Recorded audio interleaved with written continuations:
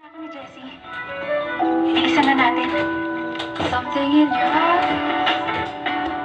Tell me who I am. Something in my say Kaya ngayong Monday, May gusto ka ka, Kenzo, no? Aminin mo. Mabuti pang itago ko na ano bang type mo? Tulad ni Mika o ni Ella.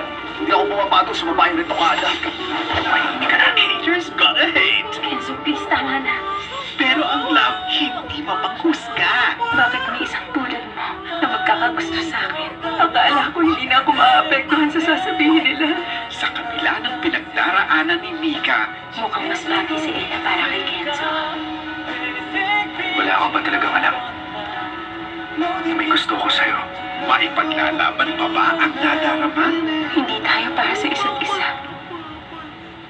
And Beauty after Los Bastardos.